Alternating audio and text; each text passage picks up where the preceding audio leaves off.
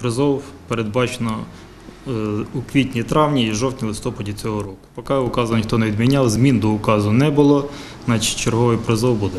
Поки що оформляємо це все документально, тобто підготовляємо е, папери, тобто документи підготовимо, а десь приблизно з вересня місяця почнемо помаленьку проводити медичні комісії. Призовників із Тернопільщини, яких заберуть до армії, знову поменшає всього 300 хлопців, а це на 50 менше ніж навесні. При цьому ймовірно, що в Україні осінній призов на строкову службу у 2013 році буде останнім. Надалі війська вкомплектовуватимуть лише за контрактом, хоч таке рішення поки не офіційне. Документально немає нічого, тобто вказівок немає ніяких. Е, Я можу спертися тільки буквально на останній виступ нашого міністра оборони Лебедєва, який був 26 е, червня давав інтерв'ю газеті сьогодні, от, який він теж говорив, що осінній призов буде останнім. Хоча на законодавчому рівні поки немає нічого.